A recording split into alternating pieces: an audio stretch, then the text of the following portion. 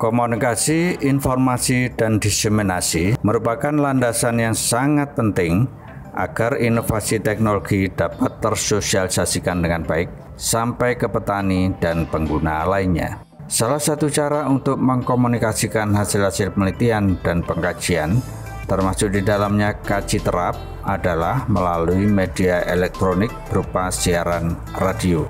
Radio Pertanian Wonocolo atau RPW Surabaya yang berdomisili di Jalan Ahmad Yani nomor 156 Surabaya merupakan unit laboratorium diseminasi Wonocolo BPTP Jawa Timur yang tetap eksis terus siaran untuk konsumsi masyarakat petani hingga saat ini yang mengudara pada frekuensi AM 1449 kHz. Siaran radio sebagai salah satu media elektronik merupakan media penyuluhan dalam rangka mendiseminasikan teknologi pertanian yang sesuai untuk kelompok sasaran yang bersifat massal dan juga masih dibutuhkan untuk mengkomunikasikan kegiatan pertanian di lapangan.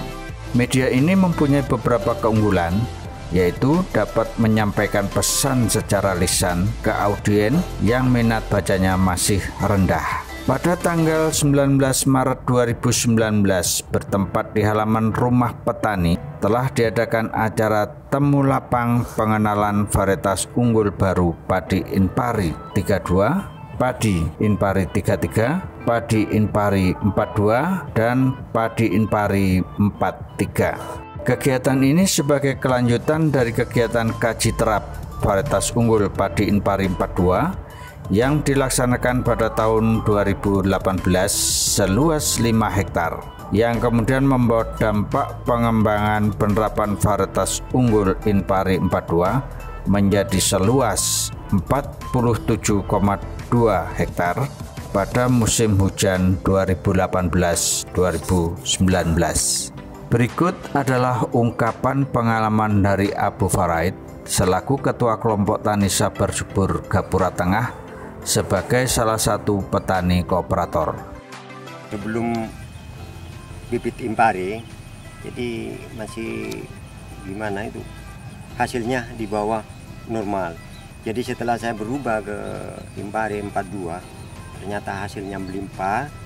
Terus keunggulan-keunggulannya ditanam di musim kemarau, tahan air, pokoknya tahan hujan, walaupun hujan sangat lebat, tidak roboh jadi yang sebelumnya saya tanam ukuran seribu kalau apa nanam cihirang itu dapat 12 sak jadi setelah berubah ke impari dapat 18 sak. Terus yang barusan yang sudah panen kemarin dari bibit 442 5 kilo saya dapat 25 sak. 25 sak cuman sisanya saya tanami 43 ternyata hampir. Cuman lebih banyak lebih bagus Impari 42 daripada Impari 43 untuk MH2 ini masih banyak yang pesan dari kelompok-kelompok lain dari daerah desa-desa lain. Ini malah dari Sumeneb dari Batuan juga pesan ke sini Impari 42 ini terus yang kira-kira ini maksudnya yang baru kalau yang sudah lama kan pesannya ke sini juga yang kemarin hampir 50 lebih hektar yang sudah dinanam impari 42 Jarwo ini. Jadi sekarang dikembangkan lagi untuk Kabura Barat pesannya dua, dua kintal malah yang Kabura Barat. Masih banyak lagi di daerah-daerah lain ini yang sekarang ini mungkin akan lebih berkembang lagi dari yang kemarin. Yang kemarin yang terjual kurang lebih satu ton dari daerah-daerah desa lain dari kecamatan lain yang beli. Jadi sekarang malah akan bertambah banyak pesanan walaupun bukan penangkar tapi masih bagus varietasnya walaupun sudah ditanam satu kali masih bagus anunya itu apa pertumbuhannya bagus masih anunya itu malainya banyak itu dari anu padat semua berisi semua yang Impari 42 ini. Kegiatan Temulapang ini juga disiarkan langsung oleh Radio Pertanian Wonocolo RPW Surabaya secara mobile broadcasting dengan radius jangkauan pemancaran sekitar 10 km.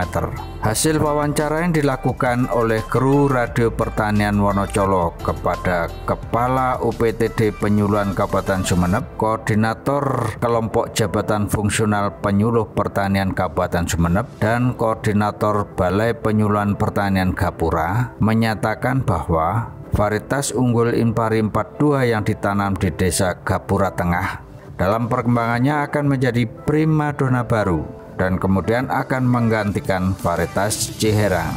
Varietas padi Impari 42 ini nantinya juga akan terus dikembangkan ke kecamatan lain. Sedangkan di Kecamatan Gapura sendiri, penanamannya pada MK1 2019 ini akan terus diperluas hingga mencapai 119 hektar. Pada kesempatan yang sama telah terjadi transaksi pembelian benih antar kelompok tani yang secara simbolis diserahkan oleh pengurus Poktan Sabar Subur Gapura Tengah pada dua kelompok tani yaitu dari Desa Gapura Barat.